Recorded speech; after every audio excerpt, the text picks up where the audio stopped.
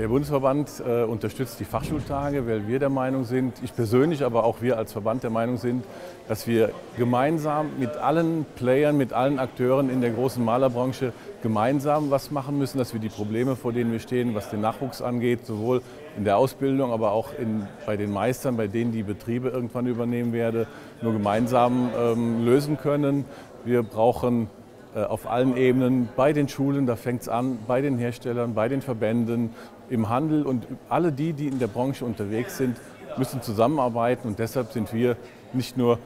bei denen, sondern auch bei den Fachschultagen hier beim zweiten Mal dabei und wollen mit den Fachschulen, mit den Schülern der Fachschulen gemeinsam die Probleme des Malerhandwerks lösen.